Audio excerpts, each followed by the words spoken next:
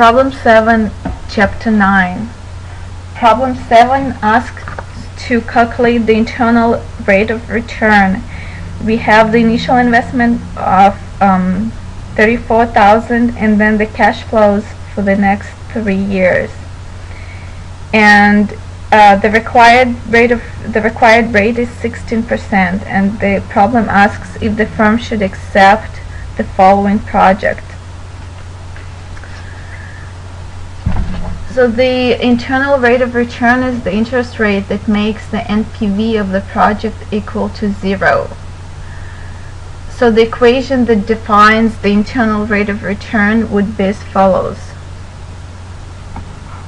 Zero, your NPV, the net present value, equals your initial investment, which is 34,000.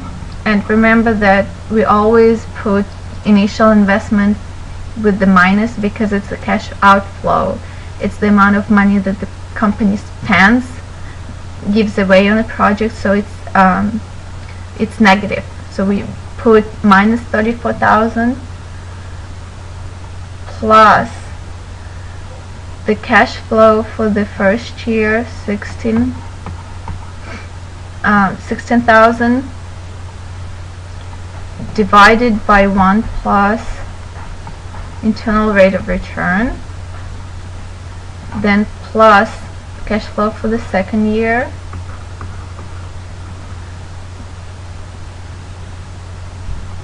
divided by 1 plus your internal rate of return to the second power and plus 15,000 which is the cash flow for the third year divided by 1 plus internal rate of return to the third power. So using um, a spreadsheet financial calculator or trial and error, we find, we solve this equation and we find that the initial rate, the internal rate of return equals 20.9 a little over 20%. Now, since the internal rate of return is greater than the required return, in this case, we would accept the project. The required return is 16%, so we accept the we accept each project that's going to give us an internal rate of return is greater than 16%.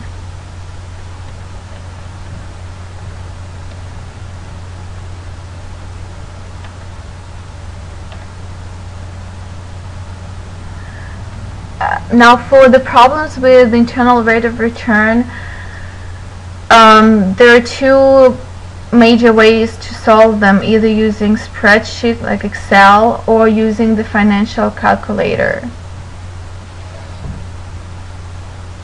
You?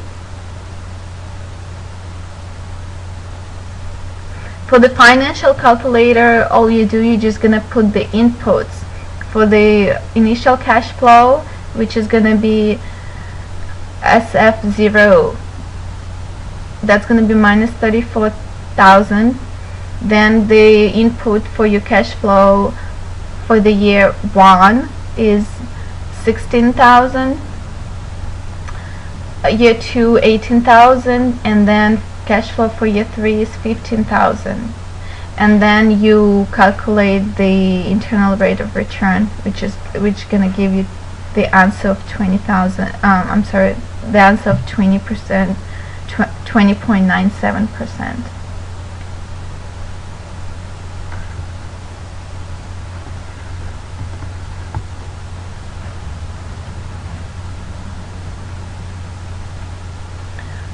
Problem 9, Chapter 9. In problem 9, we're going to calculate net present value and internal rate of return. A project that provides Problem 5, Chapter 9. Problem 5 asks to calculate discounted payback. An initial project cost is 15000 and has annual cash flows of 4300 for 6 years. what is the discounted payback period if the discounted rate is 0 if the discounted rate, rate is 5% and 9 and 19% so first we're going to start with the discounted rate of 0%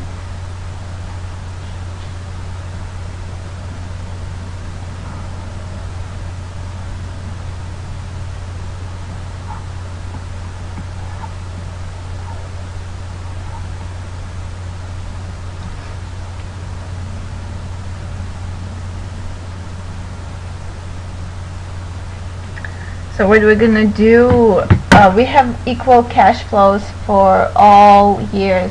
So it's 4,300 for six years. The investment, the initial investment is 15,000. So we know that the um, discounted payback period will be somewhere between three and four years. So we're gonna take three years plus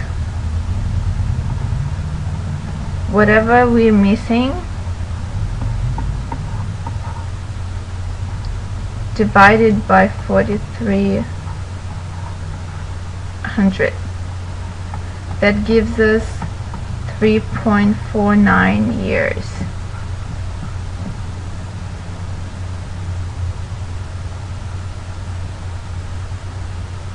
So we're just using the given cash flow of 4300 because the discounted rate is 0%. So the present value would be the same as the actual cash flow.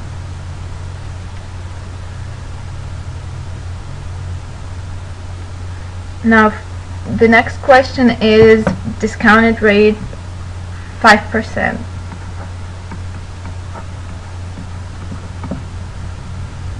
So here we have to discount each cash flow back at 5%. So we're going to do 4300 again we're using the uh, present value formula.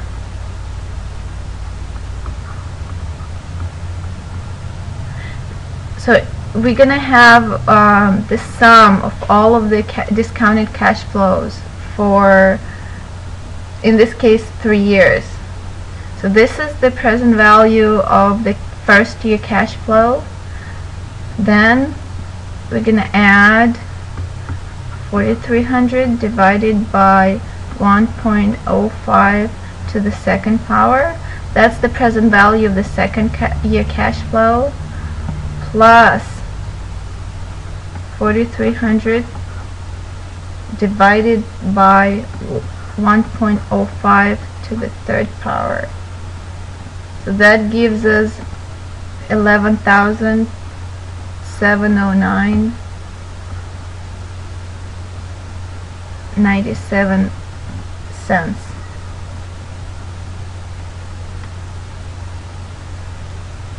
And then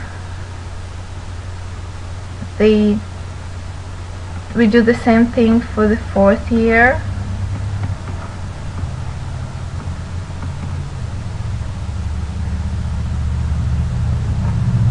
That gives us 3,537.62 cents. So the discounted payback period for this problem is three years because after three years we recover a little over 11,000 but we still not uh, at our initial investment. So we're gonna take three years plus 15,000 that's the initial investment minus 11,709.97 that's what we recover after the first three years.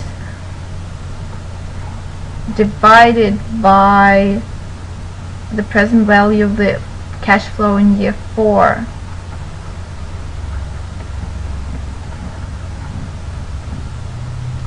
So this gives us 3.93 years.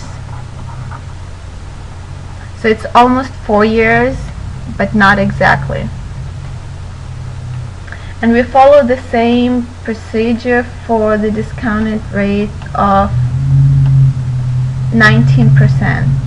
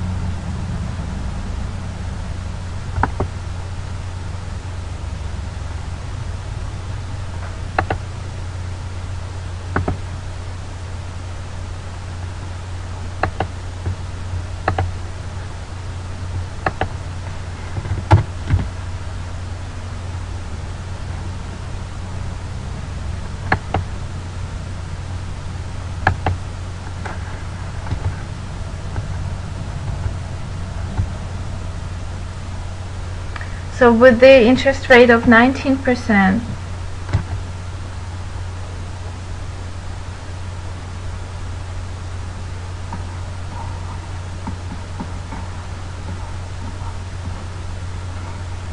if we do the same calculations, if we calculate the present values of all of the cash flow for the six years, and um, the easiest way to do it is actually using the financial calculator.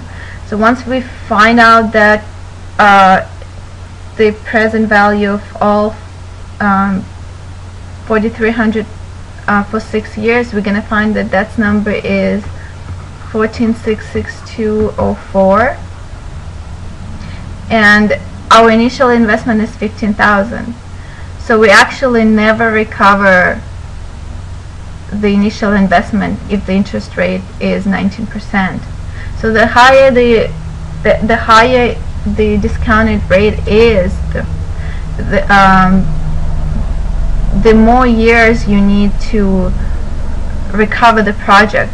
And if the initial investment is too high, then there are cases like this one when you actually never recover your initial investment.